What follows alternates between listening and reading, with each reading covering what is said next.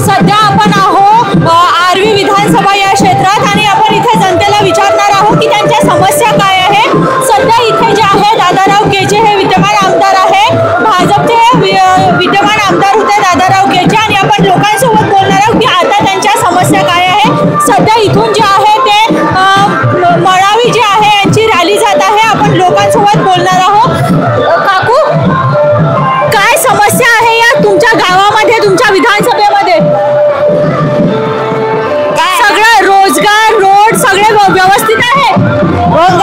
काही नाही बाबा काही सुविधा नाही आमच्या गावले. काही सुविधा नाहीये? अच्छा.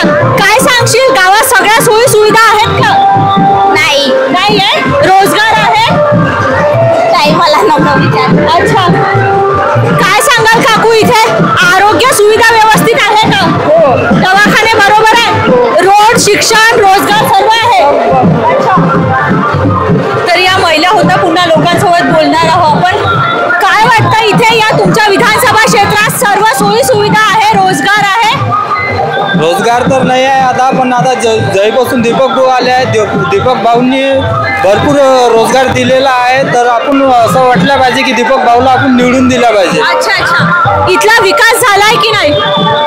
इथला विकास तर आता दीपक भाऊमुळेच. आता आपला पाच वर्ष झाले आपला सिमेंट रोड आजपर्यंत झालेला नव्हता. जयपासून दीपक भाऊनी हा रोड घेतला आहे. तरीपासून आता रोड कंप्लीट झालेला आहे. त्यापूर्वी नव्हता त्यापूर्वी अर्धवट झालेला होता रोड बंद पडलेला होता तरी आता कंप्लीट झालेला आहे दीपक भाऊमुळे तरी आपल्या तळेगावातील अ, भाविक आपल्या मित्रांना मित्रांनो सांगतो की आपल्या दीपक भाऊ मॅडम काय वाटतं इथे शिक्षणाच्या सोयी सुविधा आहे? हो हो आता मुळे हॉस्टेलाची व्यवस्था पण झाली आहे. अच्छा. हो. तर आपल्यासोबत हे गावकरी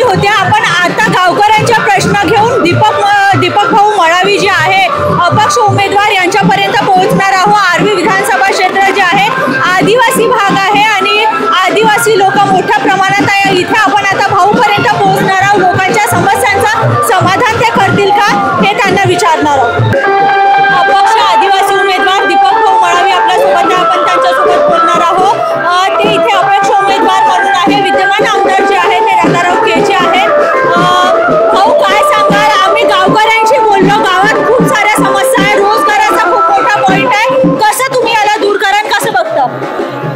जनतेने आता साथ दिली जनतेने साथ सोबत राहिली त्या सर्व गोष्टीचं निवारण होईल. सर्व आपण पुढल्या बाजूमध्ये पूर्ण हे ज्या समस्या आहे या सर्वांचं निवारण करू. गावकऱ्यांचं म्हणणं आहे की इथे शिक्षणाच्या पुरेशा सोयी सुविधा नाहीये. रस्ता हा तुम्ही पुढाकार घेतला म्हणून रस्ता बनला असं गावकऱ्यांचं म्हणणं आहे कसं बघता याकडे? हो हा ॲक्च्युली मी हा पाच सात वर्ष पाच वर्षापासून हा रोड पेंडिंग होता. मी या रोडने जायचं यायचं. तर मी ह्या रोडची दुर्दशा नेहमी बघायचं. तर त्यावेळेस मला हा प्रश्न पडला की बा आपण यास इथला आहे रहिवासी आपण इथला आहे. बा इथून आपण बाहेर जरी गेलेलो असेल कामधंद्यासाठी पण जेव्हा आपल्या गावात आपण येतो नेहमी जेव्हा बघतो तर या रोडने बऱ्याचशा लोकांचा कसं आहे हानी झालेली आहे. बऱ्याचशाची ॲक्सिडंट झालेले आहे. बऱ्याचशा लोकांच्या कंबर गेलेले आहे. तर ही बाब लक्षात येता मी बघितलं का या या कामासाठी आपण काहीतरी निर्धार करायला पाहिजे हे काम करायला पाहिजे. त्या त्या धन्यवाद. त्या हिशोबाने या कामाला आपण हात लावलं आणि या कामाला बरेच कठीण कठीण कठीण परिस्थिती आली का बा दीपक बडावीने हा रोड नाही करायला पाहिजे. त्यासाठी पण एकदा काम टर्मिनेट झालं आणि परत दुसऱ्यांदा सुद्धा ते काम मी मिळवून घेतलं आणि आज पण ते काम नाईंटी पर्सेंट जवळपास कम्प्लिटेशनमध्ये झालेलं आहे. आणि गावकऱ्यांची जी समस्या होती रोडची ही जवळपास नाईंटी टक्के ही तुट सुटलेली आहे. आता जी बाकीची बाजू राहिली आहे ती गावामधलं फक्त आर्वीतलं काम राहिलेलं आहे. आणि ते आर्वीची समस्या कोणी सोडू शकलं नाही. मला असं वाटते का तेवीस तारखेनंतर जेव्हा जनता बहुमत करेल तर त्यानंतर मलाच ही समस्या सोडावं लागेल. भाऊ तुम्ही प्रचार रॅली दरम्यान आदिवासी नृत्यासोबत प्रचार रॅली तुमची सुरू आहे. पायदळ यात्रा सुरू आहे तुमची. काय संदेश देण्याचा प्रयत्न आहे? मी आदिवासी समाजामध्ये जन्माला आलो. त्यामुळं आदिवासी ही परंपरा मला जपायलाच पाहिजे. कारण मी त्या आदिवासी समाजात असल्यामुळं मी ते परंपरा जपत राहतो. म्हणून सर्व हा जो समाज आहे आदिवासीच म्हणून तर हा सर्व गोरगोरी समाज आता तुम्ही यात बघितलं असन शीख इसाई हिंदू मुस्लिम सर्व माझ्यासोबत आहे. कारण त्यांना माहीत आहे की दीपक बडावी हा सर्वांचाच नेता आहे आणि या सर्वांसाठी झटतो म्हणून. प्रचाराचा शेवटचा आठवडा आहे. अवघे पाच दिवस बाकी आहे. कसं प- प्रचाराला पुढे चालले? कसं तळेगावातील जनतेचं समर्थन आहे? काय सांगा आम्हाला बऱ्याच काही या प्रचार दरम्यान कठीने कठीण परिस्थितीला भोगायला लागून राहिलं. क- कुठले कुठले आमचे बॅनर पण निघून राहिले कुठले बॅनर फाटले जाऊन राहिलेले आहे. आमचा प्रचार कसा थांबवता येईल हे सुद्धा इतर लोकांचा विचार चालू आहे.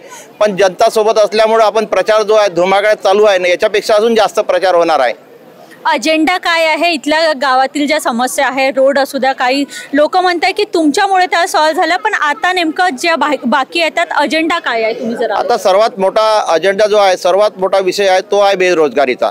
तर सर्वात पहिले तर आपल्याला इथे निवडून आल्याबरोबर रोजगार कसा देता येईल हा रोजगारचा सर्वात पहिला मुद्दा आहे.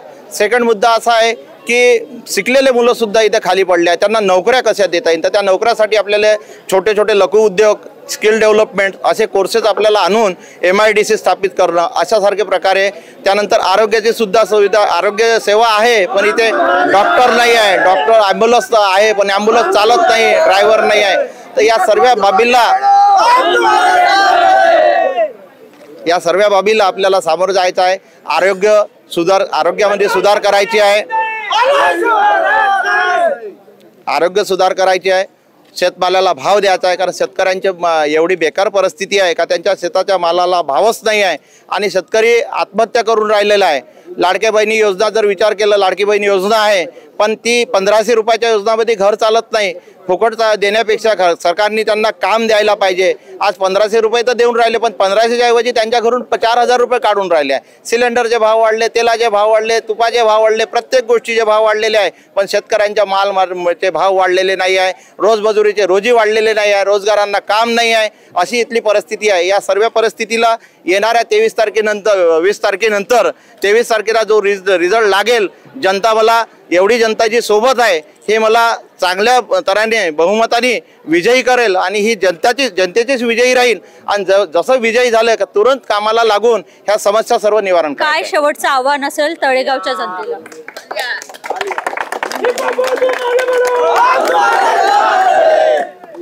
तळेगावच्या जनतेला माझं हेच आव्हान आहे की कुठल्याही पक्षाला बळी न पडता कुठल्याही हुकुमशाहीला किंवा घराणेशाहीला बळी न पडता मला माझ्यासाठी नाही तर जनतेसाठी प्रचंड बहुमताने विजयी करावं हेच मी त्यांना त्यांना नम्र विनंती करून हात जोडतो आणि ह्याच संदेश मी सर्व पब्लिकपर्यंत या माध्यमातून पोहोचवतो. धन्यवाद. आपल्यासोबत होते दीपक